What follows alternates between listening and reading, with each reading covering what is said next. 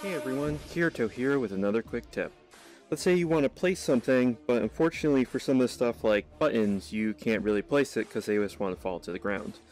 My tip is, just use a clamp.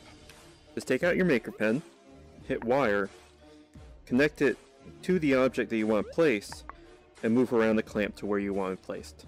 Once it's there, just hit the freeze button, delete the clamp, and it'll stay where it is. As you can see, when I unfreeze it, it just goes back to the floor. Well, that's the quick tip for today. Kirito